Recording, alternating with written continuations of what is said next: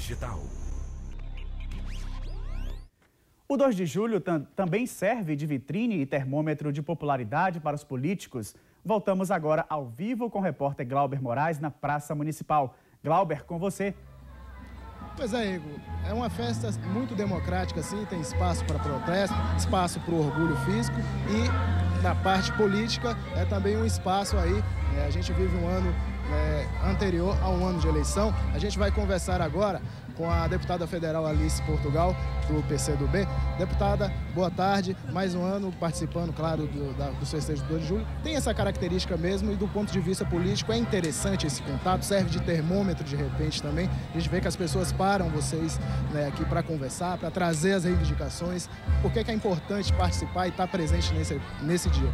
O 2 de julho é a nossa data maior é um momento de afirmação da cidadania, da brasilidade, onde o povo, em luta no recôncavo baiano, finalizando em Salvador, consolidou a independência do Brasil. Portanto, foi pelas vias da política.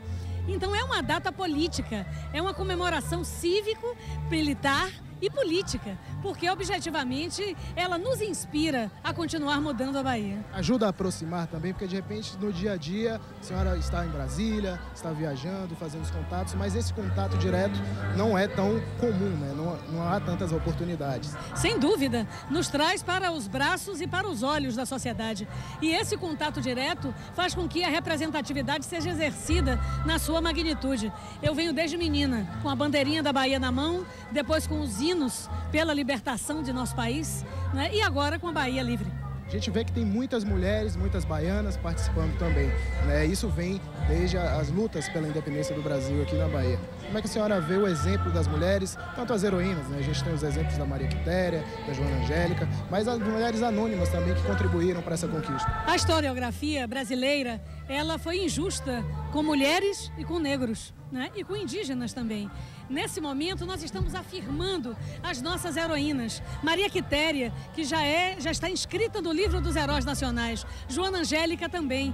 A nossa é, é, Maria Filipa de Itaparica, também em processo de é, registro como heroína da, da, da luta pelo 2 de julho. Então, as mulheres estão sendo afirmadas na história, mas, acima de tudo, afirmadas na realidade brasileira, com uma presidenta e com valorosas mulheres ajudando a mudar o Brasil. Brasil.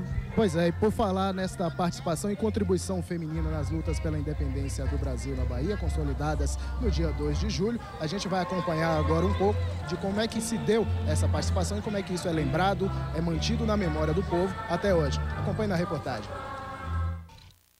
Mulheres de coragem, mártires como Joana Angélica, a diretora do convento da Lapa resistiu tentando impedir a passagem de soldados portugueses pelo local. Num dos mais marcantes momentos das lutas pela independência do Brasil na Bahia, a abadesa se postou bem em frente a esta porta para defender o convento de soldados portugueses. Era fevereiro de 1822. Ferida por baionetas, ela tombou neste exato local. O dia 20 de fevereiro daquele ano ficou marcado na história e no prédio hoje ocupado pela Universidade Católica do Salvador. A porta permanece intacta, assim como os armários da religiosa. Armas utilizadas na resistência aos invasores também foram preservadas. Outra mulher baiana que entrou para a história como heroína precisou se vestir de homem para lutar ao lado das tropas brasileiras. Tal qual a francesa Joana d'Arc, Maria Quitéria se destacou pela bravura, desempenhando um importante papel na expulsão dos portugueses. Nascida na cidade de Cachoeira, no recôncavo baiano, a heroína se alistou no Batalhão Voluntários do Príncipe, conhecido como Periquito. Ela lutou nas tropas comandadas pelo general Labatu, utilizando o nome de Soldado Medeiros. Maria Quitéria, a gente tem todo um, um mito construído em torno da figura de Maria Quitéria, que é, está exposto no, no, célebre quadro, né, ela vestida de cadete, né, com um saiote, é, paramentada. Então, aquela figura da Maria Quitéria é o que a, a população mais conhece. Se você olhar assim com mais cuidado, você vai ver que a imagem está muito próxima de um homem de saia.